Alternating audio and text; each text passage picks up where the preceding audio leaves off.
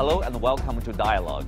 The COVID 19 pandemic has been going on for two years and has changed life significantly. More than 5 million people worldwide have lost their lives to the coronavirus. Lockdown has become part of the world's common vocabulary, and the governments and their citizens are still waiting for a new normal to emerge. Inequalities have deepened within countries and globally.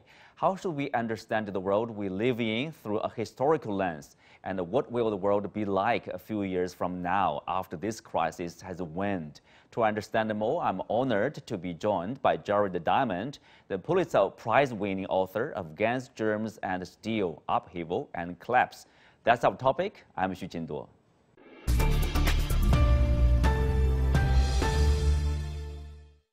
Welcome to the show, Jared. Uh, your Pulitzer Prize-winning book, Guns, Germs, and Steel, has been a global bestseller for 25 years. So what do you think is the biggest reason this book has been so popular? Well, let me say first that it's a pleasure for me to have this conversation with China, even though it's remotely. I'm sitting here in the study of my wife in our house in the city of Los Angeles, about two kilometers from my university and about 10 kilometers from Hollywood and about 12,000 kilometers from you. But it's still a pleasure to have this indirect connection. So, my book, why is it a bestseller? And I think the reason is simple. My book is about Guns, Germs, and Steel, is about the biggest, most important question of history. And the answer to that question is a surprising answer. The biggest question of history is why has history turned out differently for different peoples? Why are some countries rich and some countries poor? And often people answer that by saying, well, I can look at people's faces. Africans look different from Australians, look different from Asians. Because people look different, maybe that means that not only have they different appearances, but maybe they have different brains. And so, possibly the reason why some countries are rich and other countries are poor is that people are smart in some countries and not in other countries. But a lot of effort has been made, particularly by racists in the United States, to try to recognize differences in intelligence between people, and they've never been able to recognize differences. It turns out, and this is the message of my book, that the different outcomes of history for different people have nothing to do with people's brains. It instead has to do with people's environments, and in particular, the plants and animals that were available to people in each part of the world to domesticate and grow and provide the basis for agriculture and herding. Uh, plants and animals, for example, China. Why did civilization begin early in China? Is it because Chinese people are smarter than other people? No, it's because China is the homeland of rice and water buffalo and pigs and chickens. But farming permits people to feed other people. And so with farming, you can get a big population, like in China today. And with farming, you can get food surpluses that can be used to feed emperors, as in China, and that can be used to feed inventors, as in China, and that can be used to feed scribes, inventors of writing, as in China. So agriculture was the starting point for the origin of these differences among people. Well, you know, the book has been around for 25 years. I mean, if you uh, say, okay, uh, be able to do it again, is there anything you want to add or anything you want to change?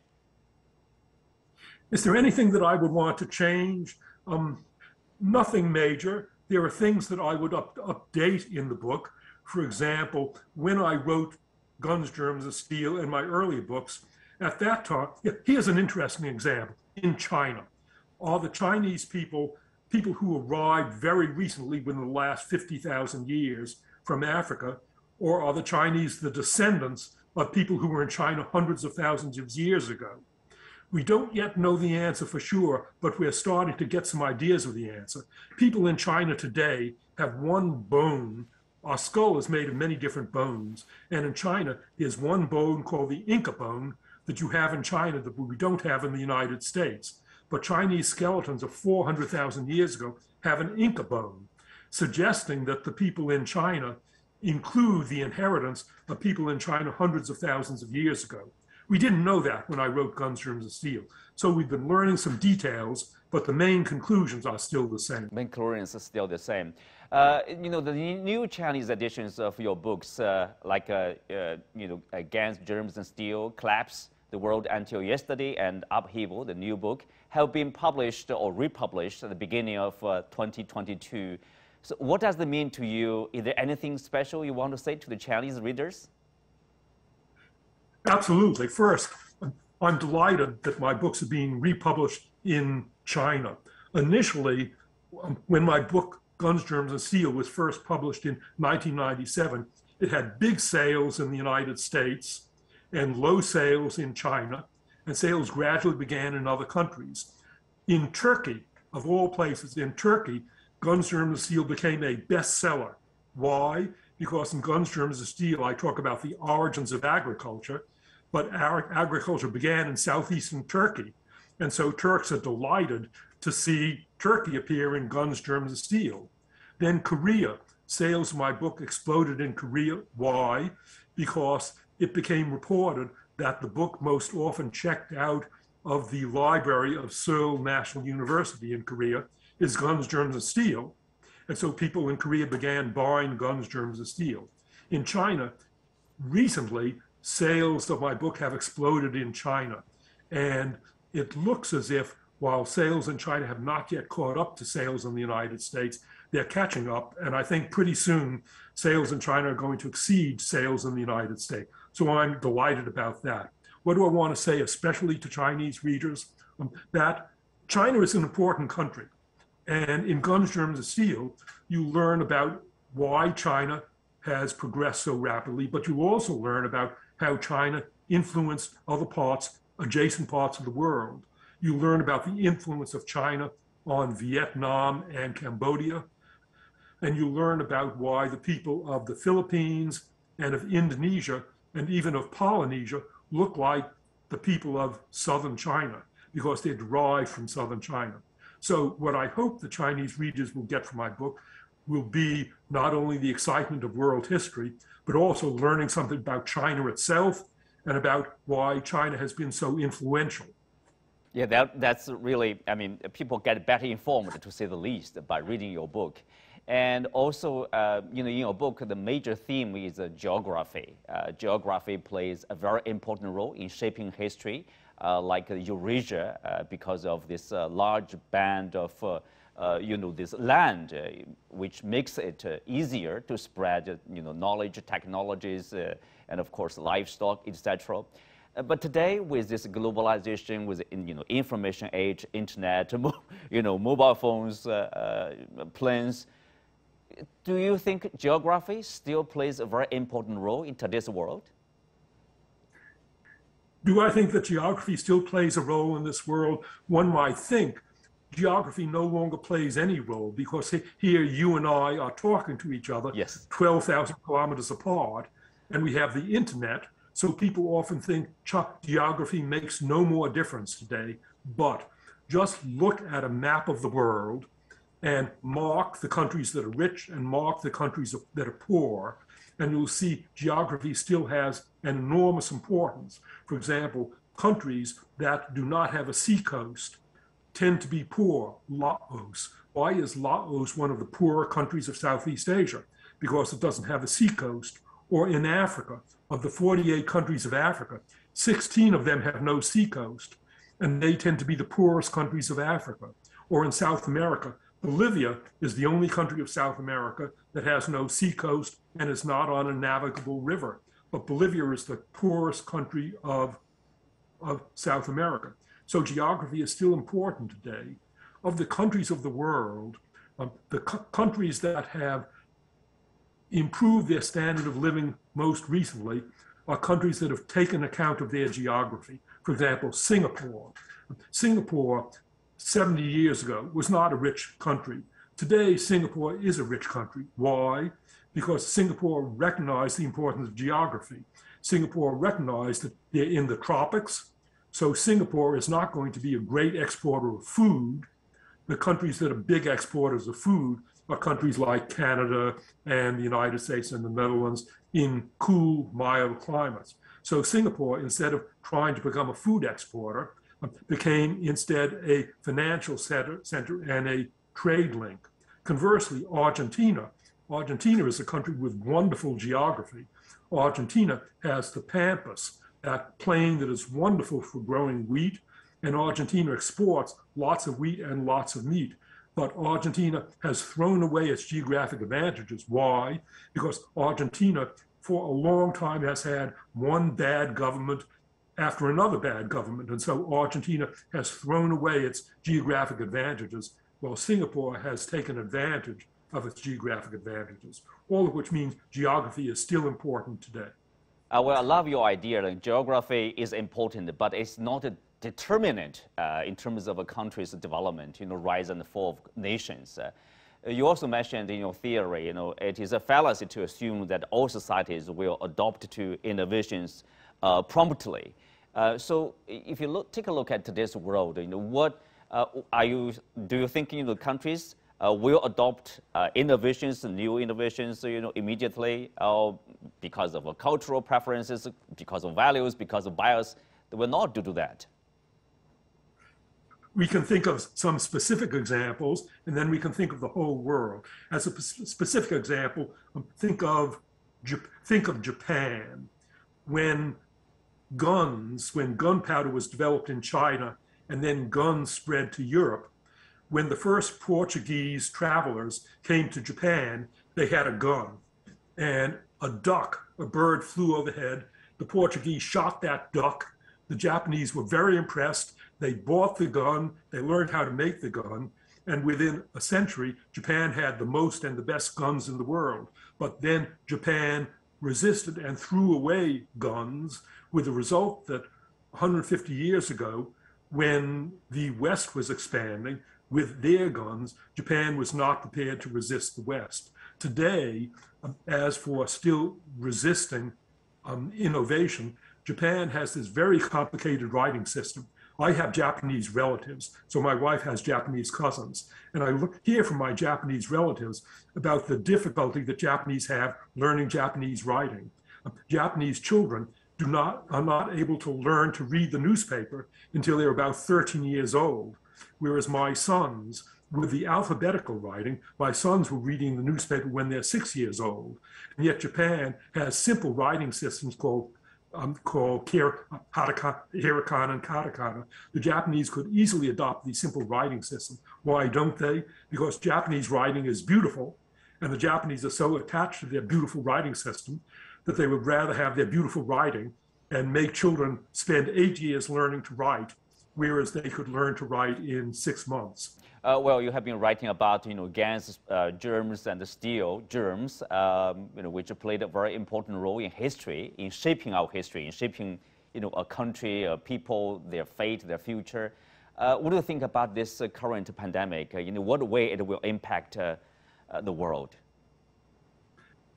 How will the epidemic impact the world? Um, it's not going to impact. Um, it's not going. Well, well, COVID is a tragedy. I would be the last person to belittle the tragedy. Two days ago, one of my wife's and my closest friends died of COVID. And we, and at this moment, my niece and her husband and her children, the four of them all have COVID. So I know about the tragedy of COVID. But the reality is that COVID, compared to the diseases of the past, is not a big killer. Only about 2% of people infected with COVID die of COVID, whereas in the case of smallpox, which has been eliminated, or plague, people who are not treated, about 50% of people who were infected with smallpox or plague died of smallpox and plague. And then AIDS, everybody infected with AIDS dies of AIDS, and Ebola and Marburg, 70% die of Ebola and Marburg. So, so um, COVID is not a serious disease as is true of the disease of the past. What is serious about COVID is how we are reacting to it. If some countries are selfish and protect themselves against COVID, and other countries are unable to protect themselves against COVID or choose not to protect themselves against COVID, there are going to be differences around the world. There is going to be more inequality, and people in infected countries are going to get angry and desperate and people in uninfected countries are going to feel safe and they are going to be targets of anger from infected countries. So my concern about COVID um, is not so much that it will kill lots of people. It will not kill lots of people. My concern is that it may make the world more unequal than it is now. Let's have a break. We'll continue our discussion right after this.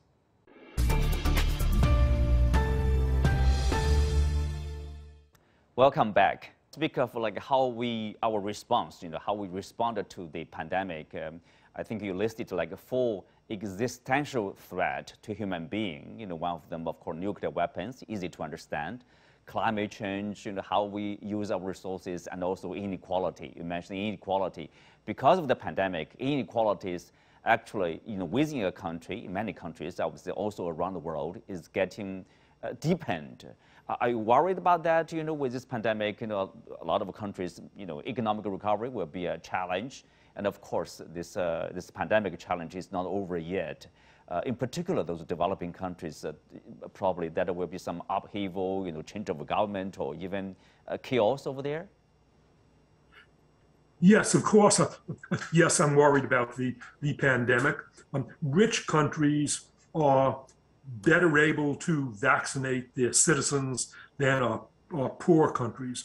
The, I have a best case scenario and a worst case scenario. My best case scenario is that countries with vaccines, China and the United States and European countries, will share their vaccines with other countries. My worst case, in that case, other countries um, will not get poorer. My worst case scenario is that countries with vaccines will not share that vaccines with countries like African countries and some Asian countries that do not have their own vaccines. And that means that poor countries will get poorer. But already it's a big threat to world stability to have poor countries and rich countries together in this globalized world. We in the United States know particularly about that because think of the World Trade Center attack in 2001 um, when terrorists from poor countries uh, launch planes into the World Trade Center. That showed that the United States, the United States is no longer protected by the oceans from poor countries. In this globalized world, poor countries have ways of sharing their anger with richer countries. And that's true for the United States, but it's also true for China and it's also true for European countries. So my hope would be that COVID will encourage the world to cooperate and my worst case scenario is that COVID will make the world more unequal than it is now. Uh, well, uh, to change the, the, gear a little bit, you know, in your book, uh, recent book, Upheaval, you mentioned about, uh, you know, the, uh, the ways the, you know, different nations address their crises. You know, they needed to acknowledge the problem, take a responsibility, and learn from other models, adjust them accordingly, etc. Uh, there were some outcome predictors. I want to you know, take a look at, uh, you know, your country, the United States, you know, um, how do you characterize the challenges right now for the U.S.? Wow. Uh, um, upheaval for my, my, book upheaval for the united states in my book upheaval i had two chapters about the united states my own country why because the united states has advantages geographic advantages like argentina and I'm worried that my country will throw away its geographic advantages. In the United States, what we call polarization, the breakdown of agreement in the United States, the breakdown of agreement between our political parties is getting worse and worse. Um, it's the worst that it has been in my lifetime. So I'm worried about the United States. When I look to countries that have dealt with their crises, that have been honest in dealing with their crises. A country that has done very well in dealing with crises is the European country of Finland.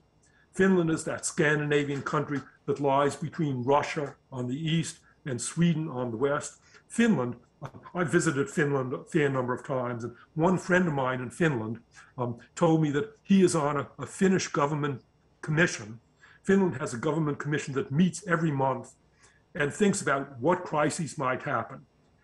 The Finnish government tries to think of everything that could go wrong, and they plan for everything that could go wrong. So, for example, when I visited my Finnish friend with my wife about two years ago, he had just been to the monthly meeting, And that monthly meeting was about what would Finland do if Finland's electricity net broke down?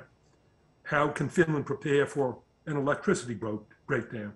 Well, because Finland every month thinks about everything that could go wrong. Three years ago, that monthly meeting discussed what would happen if we have an epidemic in Finland. And if we have an epidemic in Finland, it might be a respiratory disease epidemic. We need face masks. So obviously, we have to stockpile face masks. The Finns stockpile face masks, they stockpile wheat, they stockpile, they stockpile fuel, they stockpile medicines, they stockpile chemicals. And the result was that when the pandemic of COVID hit, the United States did not have face masks, but Finland did have face masks. And so the Finns were prepared and the United States was not prepared. Finland is an example of a country that prepares for any crisis because of its history. In World War II, was cut off from the outside world, and the Finns learned that they had to be prepared to deal with anything in isolation. So, you know, do you think the U.S. government or the country as a whole uh, is handling the crisis uh, well, based on this, uh, you know, outcome predictors? Is the United States handling uh, handling the crisis of COVID well, or the crisis of polarization well? Which that's a polarization, let's say. Polarization. Um, in the United States. Um, some people are dealing well with polarization and trying to reduce it, and lots of people are doing badly with polarization and making it worse. Um, one of, for example, in the United States, unfortunately, um, there are many American states that are introducing laws, policies that make it difficult for people to vote who are likely to vote for the other party. Mostly it's Republicans that are doing this, but it's also Democrats that are doing this. But the essence of democracy is being able to vote. And so polarization is going to increase um, if people are um, prevented from, from voting. The, the, this is an interesting point. The strength of a democracy is that you can tell the government you are doing a bad job. We've seen this in American history. Uh, the United States, um, about what, 45 years ago. The United States made war in Vietnam. The government of the United States decided to make war in Vietnam. Many Americans thought that that was a bad idea, and they protested, and the government was angry at them, and the government actually shot for the students who were protesting.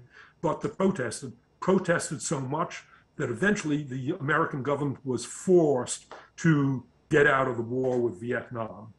Well, in your uh, Guns, Germs, and Steel, the book, you explored the reasons you know, why China lost its technological lead to Europe. Uh, you referred to policy changes in the Ming Dynasty that puts an end to the Chinese uh, treasure fleets.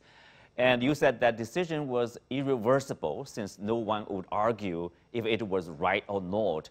How can a country in general, you know, avoid this uh, irreversible consequences of bad decisions? You know, what's needed to counteract bad decisions? How can a country avoid uh, bad decisions? Um, there is there is no way that a country can avoid bad decision, making some bad decision. But what a country can do is to to correct bad decisions. For example, in the United States with COVID. Initially, there were some very bad decisions made about COVID. Um, our recent president, President Trump, initially he denied the, the reality of COVID. And then he said the way to treat COVID is to inject bleach into your veins and various other silly things. So those were bad decisions. But, but fortunately, there were Americans who spoke against the bad decision. And eventually, those bad decisions got corrected. Um, another example um, so Australia uh, initially made some bad decisions, and then Australia got frightened by the arrival of COVID in Australia, and the Australian government changed its policy. All of which is a long-winded way of saying that every country's make bad decisions.